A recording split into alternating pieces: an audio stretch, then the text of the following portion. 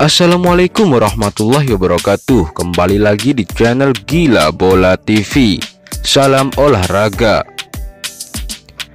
Arema FC hadapi PSIS tanpa 5 pilar penting. Arema FC dipastikan tak akan bisa menurunkan tim terbaiknya ketika melawat ke markas PSIS Semarang akhir pekan nanti. Menurut penuturan Milomir Seslija ada lima pemain inti yang takkan bermain di laga nanti Nah, sebelum lanjut ke beritanya, tak ada salahnya klik tombol subscribe terlebih dahulu supaya channel ini bisa bermanfaat bagi kita semua. Terima kasih.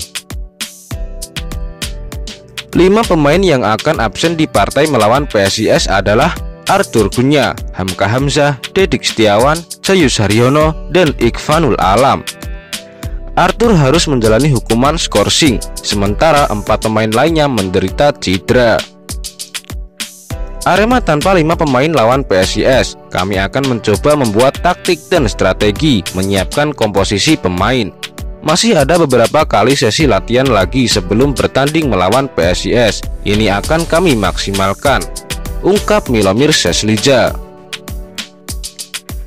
Absennya 5 pemain ini tentu membuat Milo merasa pusing. Pasalnya, Arema harus tampil habis-habisan di empat pertandingan tersisa untuk bisa finish di posisi runner-up. Ia pun berharap tak akan ada pemain Singoedan yang absen di pertandingan tersisa. Saya harap daftar pemain yang absen tidak bertambah lagi. Kami akan memaksimalkan pemain yang tersisa, kata pelatih yang juga pernah menangani Madura United itu. Selepas partai melawan PSIS, Arema masih harus melakoni tiga partai sebelum mengakhiri Liga 1 musim 2019. Rencananya, mereka masih harus menghadapi Persebaya Surabaya, Bali United, dan Barito Putra.